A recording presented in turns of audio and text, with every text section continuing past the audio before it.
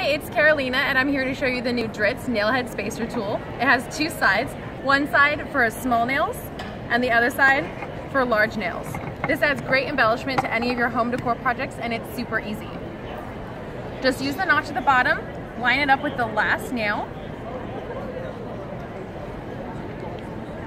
insert your next nail, and hammer down. Go all the way down to the end. You'll notice that my fingers are nowhere near getting smashed by that hammer. Hammer your nails all the way down to the end. Rotate the tool out to remove it. And then just hammer your nails down.